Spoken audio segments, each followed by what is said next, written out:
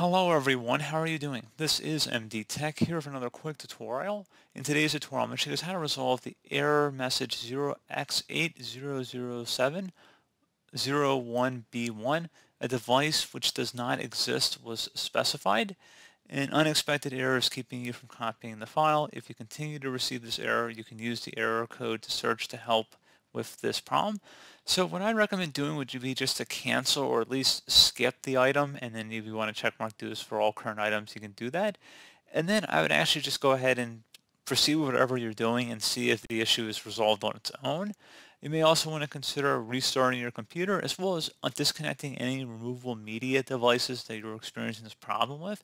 So perhaps you're trying to have an error and you're trying to read or write from an external flash drive or external hard drive. You may want to just disconnect it and then plug it back in as well as restarting the device. So I'm just going to go ahead and actually restart my computer here. Also might want to consider swapping USB ports. So if you're plugged into one USB port, try putting it into a different port. Again, if that's applicable for your particular situation.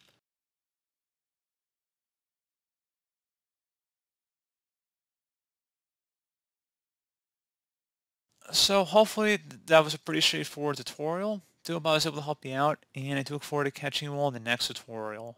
Goodbye.